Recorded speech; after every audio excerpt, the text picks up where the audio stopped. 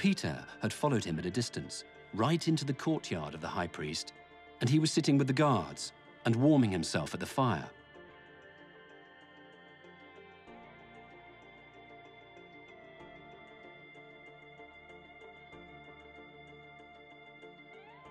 And a maid came up to him and said, You also were with Jesus the Galilean. But he denied it before them all, saying, I do not know what you mean.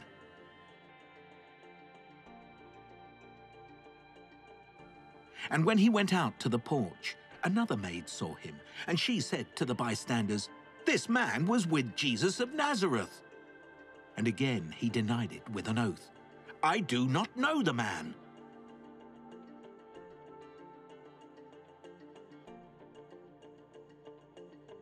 After a little while, the bystanders came up and said to Peter, Certainly, you are also one of them, for your accent betrays you.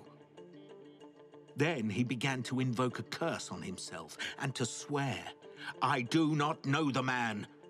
And immediately the cock crowed.